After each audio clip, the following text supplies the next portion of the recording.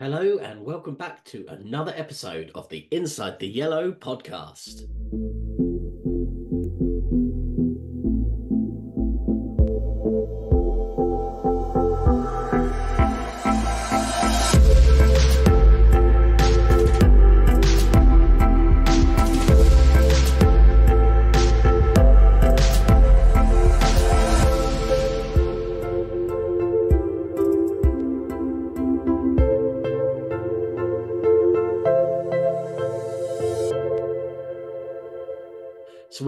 In our new season where we're going to be promoting all about the Walk for Autism 2024, the stadium tour for Anna Kennedy online.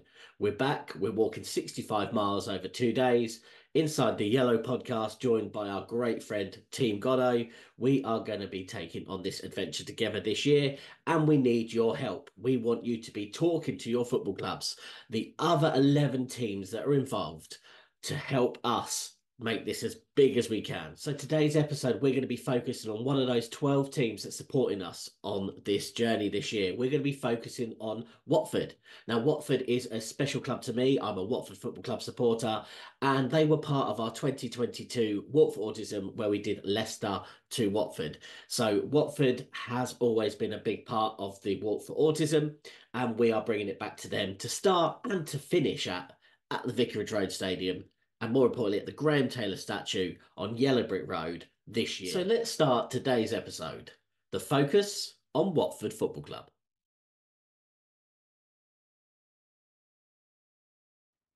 So I'm a Watford Football Club supporter, and I first came to Watford back in 1998, August 1998, when Coca-Cola Cup second leg tie against Cambridge United. Unfortunately, that day we actually lost. It was 1 1 on the night which meant we did actually go out 2 1 on aggregate.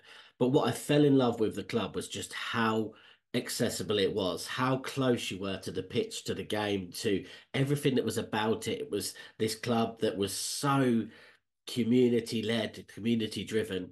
And at the time, I was so fortunate to start supporting the club in the second spell of Graham Taylor's management. Someone who drove community, someone who drove all about that kind of Watford spirit and town community spirit and brought that into the football club and brought the football club into the community.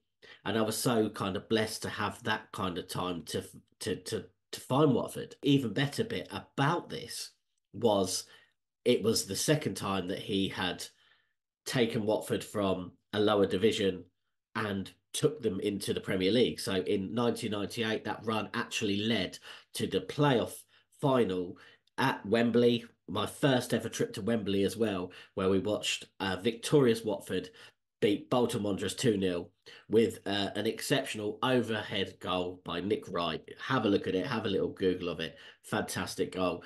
And we were in the Premier League from that point and it was all about the kind of community. It was a fantastic day at Wembley. It was fantastic to spend some time. And that was my first kind of meeting with Watford. I'd heard about the legends of the past, people like John Barnes, Luther Blissett, who had created this attacking football under Graham Taylor's leadership, which took them from the fourth division to the top division. And the uh, rise of the team under Elton John and Graham Taylor um, Elton John's um, Taylor Made Army, as I remember the chants back in the day. And it was about this club. I my first ever seat, I believe, when we went to the stadium, was it was in the now what's now the Anne Swanson family stand. So again, something else Graham Taylor brought to the football club was about the family, was about the community, was about bringing the families to football. And again, that is why I think this was such a great place to start the Walk for Autism 2024, the stadium tour, right outside the Graham Taylor statue. So, why start the Walk for Autism from Watford? So, again, it's a family club, it's a community club that starts all the way back from the Graham Taylor era.